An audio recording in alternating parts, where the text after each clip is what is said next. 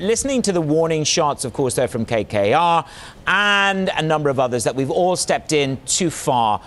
Our last guest called these bonds, US and European bonds, as slightly treacherous to hold. Have a look at this chart. How close are we to a treacherous reversal and a bond market tantrum if we are underwhelmed by the Fed?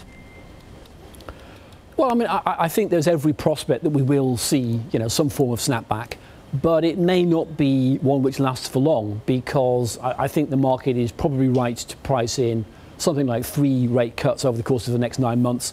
Um, now, the markets may have front loaded that a little bit, admittedly, but uh, I think the broad direction of where, where markets are headed is, is, is right in terms of bond markets. Equity markets, though, in terms of reaching record highs, we've come off a little bit in recent days. If you're not already in this equity market, should you be joining the rally? Oh, definitely not. I mean, this is one this is one to avoid because I mean, I, think a lot of uh, investors who are already in the market are thinking maybe it's time to get out. I mean, we just heard um, from the likes of BlackRock who were saying that they want to cut their, their equity exposure. Again, um, I don't disagree with that at all. Um, I think that the, the, concern I have is the timing.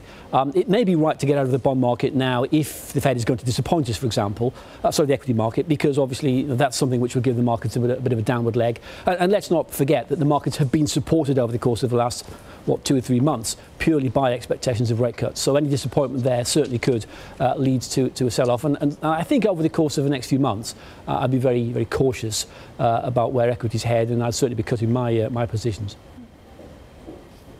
Um, and certainly the question is whether you get another 18% return on the S&P 500 in the second half of the year. Can I ask you about the dollar? And I, the reason why, go to Top FX, and we have a lovely story, which is Wall Street dawns the wild card notion. The wild card notion is that the US could intervene. They haven't done it aggressively to sell the dollar, uh, uh, to push the dollar down since 2000. But ING say the lure of a weaker dollar to support the US economy going into an election cycle could be too great. Do you think it is a real risk that the US would be forced into a position of where they would sell the dollar and really try and move the market, given that G20 communiqué?